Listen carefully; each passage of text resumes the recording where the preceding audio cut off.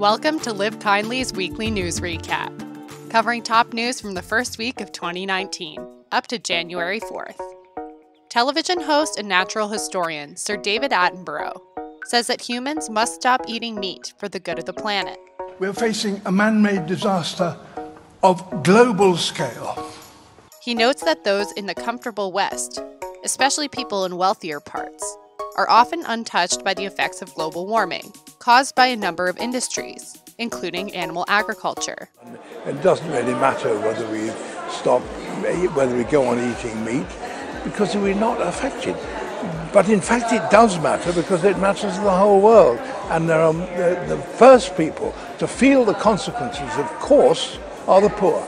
In late 2017, Attenborough revealed he had stopped eating meat, calling animal farming practices depressing. Celebrity chef Jamie Oliver created an impressive plant based menu for the world's first vegan football team, the Forest Green Rovers. What is different about Forest Green is we're vegan when we eat in and around the football club, when we travel away. Along with farmer and television presenter Jimmy Doherty, Oliver met the team at its new stadium for Channel 4's Friday Night Feast segment. Oliver and Doherty prepared multiple plant powered dishes for the League Two team. And I think the ones who've come and tried it almost unanimously will say actually it's really good food and they don't miss the meat. They go away and say actually they're coming back. Speaking about the experience, midfielder Dayle Grubb revealed that the celebrity chefs were excited about the team's vegan focus. Grubb said the food was unbelievable and hopes that the new segment will open up the club to a new audience. Russia has passed new legislation in a bid to improve animal welfare across the nation, a ban that will end petting zoos, animal fights, and the killing of stray cats and dogs. Originally introduced in 2010, it took legislators eight years to finalize the act. The law also mandates that pet owners take good care of their companion animals. Exotic animals kept in homes and apartments are also included in the ban.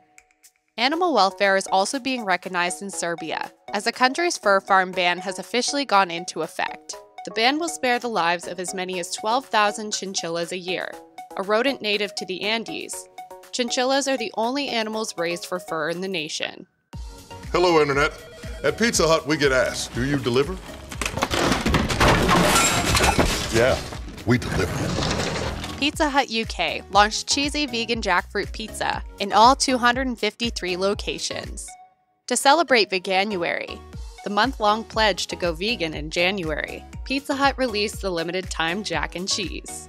If Pizza Hut sells over 10,000 jackfruit pizzas during the promotion, the pizza will become a permanent menu item.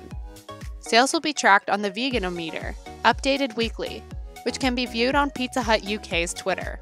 The company has also launched an I Want You Jack campaign to promote the product. That's it for today.